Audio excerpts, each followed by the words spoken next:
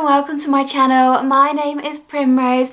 If you haven't been here before then hi, it's lovely to meet you and if you have been here before then welcome back. It's so good to see you again. What I wanted to do today was to kick off my How to Wicca series, my Witches in Training series and start talking about the Wiccan Sabbats that are going to be coming up this year. I thought it was a perfect opportunity, start of the year, let's talk through the Sabbats before they come up and yeah, get you guys into the into the practice of getting used to when they're here and just learning a little bit about what they're all about really and why we celebrate them. So if you are interested in learning more and would like to see more of my videos, do give me a massive thumbs up and subscribe to my channel. It would mean the world to me.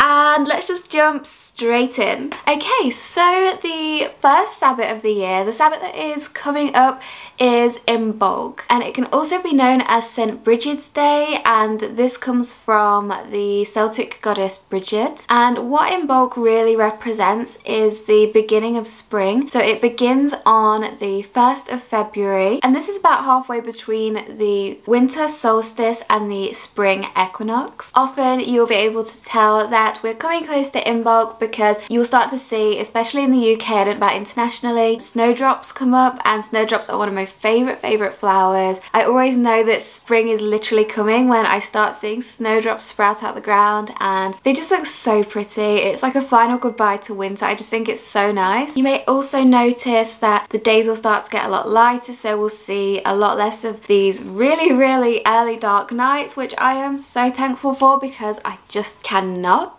and yeah it's so good. You feel like you can do so much more in the day. The days are getting longer lighter and it's basically just saying goodbye to winter and preparing for springtime. So within Wicca each Sabbat has a story of the god and the goddess that goes along with it. It's almost like a phase in their their life a phase in that period of time together. And that is representational of the wheel of the year and the seasons that go by. So Imbolc is very much about new beginnings. You can see that when you just look at plants starting to grow back, trees starting to get their leaves. It's all about new beginnings, very much renewal, very much coming back. It's a great time to start over. But specifically in terms of the god and the goddess, this is when the goddess is at her, not her youngest, but as part of her youth. If you've been looking into Wicca, then you'll probably already know the goddess has three different life stages. She has the maid, the mother and the crone and in this stage she is very much the maid very much all new to her very much new beginnings. She's not yet coming quite into womanhood but it is the preparation for that. And then in terms of the god and his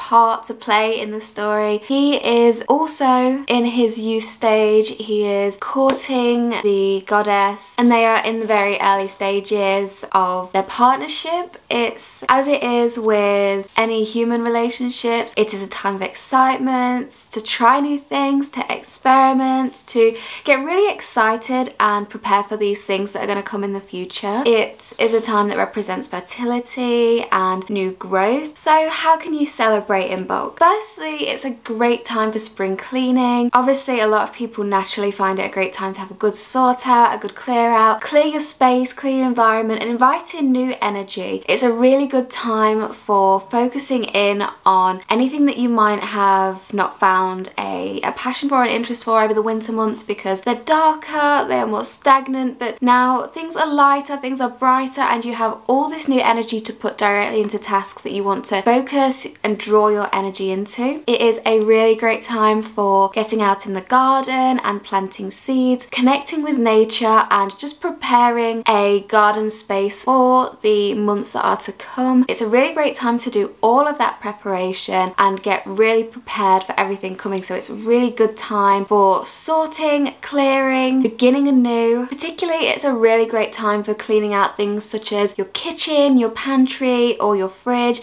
you know, clearing out all of of the old stuff that you no longer need and welcoming in new bountiful things. And maybe you want to bring in some new habits as well. So it's maybe a really good time to set yourself some goals and think okay what do I want to achieve for the rest of the year? You know don't feel like because we're not at January the 1st it's too late it's definitely not. You know make a list make some goals set yourself some tasks or things that you want to achieve even if it's just for the month you know and see how you get on. It's also a really good time to let go of things that you might have been holding on to. Maybe you were clinging onto things over winter and you know what, just, just let it go. Just keep all of that into that dark time, that dark space and put it to bed, put it to rest because now it's time for you to grow up through the ground, you know, everything that you want to be as a person, everything that you want to bring into being, let that all come out and leave anything that you do not like or anything that you do not want to bring into this year, leave that back in them winter months and say goodbye to it, put it to rest. It's also a great time to get creative, draw on this new energy that's coming in, draw on, draw into these lighter nights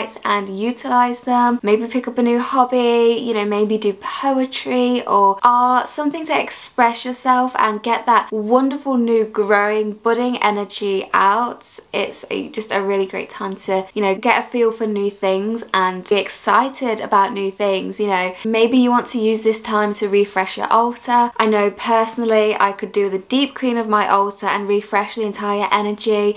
It's a great time for smoke cleansing or just whatever method of cleansing you like to do maybe you want to collect some wild flowers or branches leaves or seeds, things you might find outside and bring them into your altar. Bring that new energy and that, that real growth energy into your space and it's just such a fantastic time to harness all of that. In Wiccan tradition, some people choose to make a Brigid cross as well. This is what it looks like. I'll pop a little picture in on the screen. I've never had a go at doing one myself. I've never really felt like it's something that I wanted. It kind of reminded me a bit too much of the Christian palms. But you know, if that's something that you want to try, then by all means go ahead. But you can also, as an alternative, make a Brigid doll, which is what I've actually chose to do a couple of years ago. So this is my goddess doll. So I choose to make her purple. I've put symbolism in there of all things that I sort of connected with. So I've got an amethyst crystal at the top. I've got this soft silk rose that I've used as a headdress. We've got some purple sequins down the body. I did a swirl on here, very representational of feminine energy. We've also got a bird cage, which is representational of, you know, how I feel sometimes in my life and some more roses. So this is my sort of goddess doll and inside she is also filled with some lavender and stuffing. So I just kind of made this by hand and just sort of roughly sewn up the edges. It's not perfect but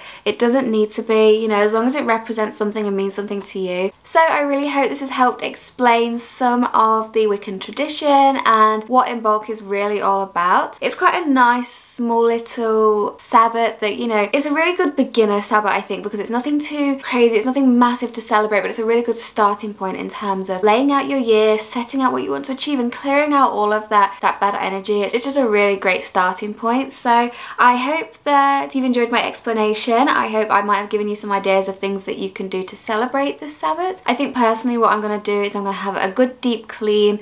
I'm going to refresh some of my altar. I'm probably going to journal. I've been really into journaling around the Sabbats lately and how I, I feel and it's a, a big time of reflection for me so maybe I'm going to reflect on the things that I want to let go and the energies that I want to bring into the year. If you have any more questions for me then just let me know down below I'd be more than happy to go through anything that you're not too sure about. Thank you for joining me here today and I look forward to seeing you guys in the next one. Bye!